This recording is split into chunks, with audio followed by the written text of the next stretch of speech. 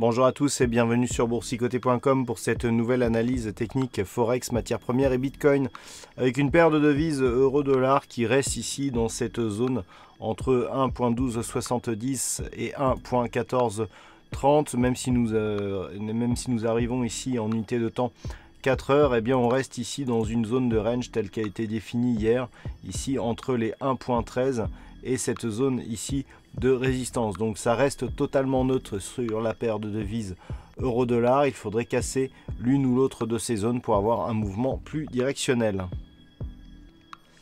Et puis sur l'or, hier j'attirais votre attention sur le fait de ne pas casser ici la, zone de support des 1242 dollars l'once. Et eh bien ce que l'on peut constater c'est que euh, l'or reste bien ici au-dessus de cette zone, zone qui après avoir été, ici résistance eh bien, est réellement confirmée en tant que support.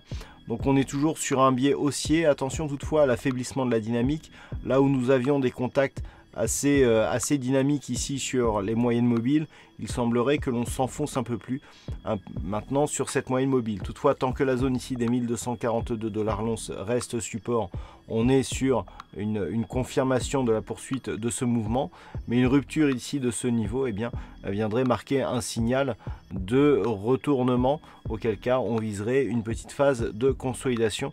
Mais le fond de la tendance ici euh, sur le court très court terme reste orienté à la hausse.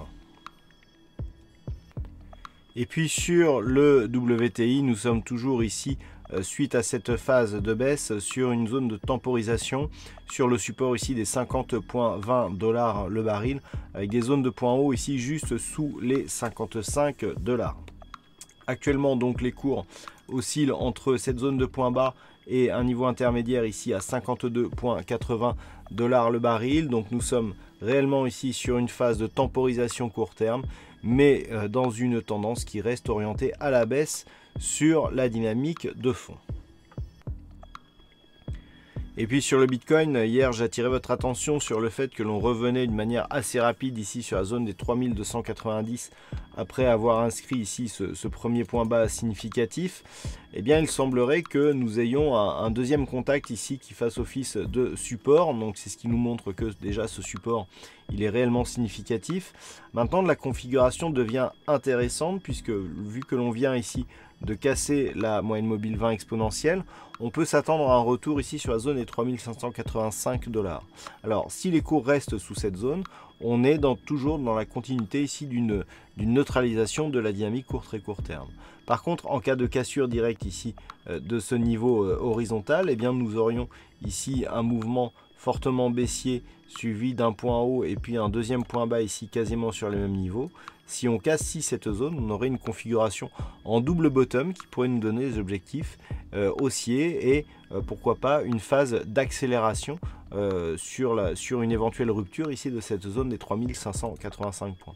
Donc attention à un éventuel retour sur cette zone car le, retournement pourrait être assez violent à son, franchissement vu la baisse consentie sur la monnaie virtuelle depuis ces dernières semaines. Par contre, une rupture baissière des 3290 dollars eh bien, nous donnerait un signal de poursuite du mouvement baissier en direction des 3000 dollars. Voilà donc ce que l'on peut dire sur cette analyse technique Forex, matières premières et Bitcoin.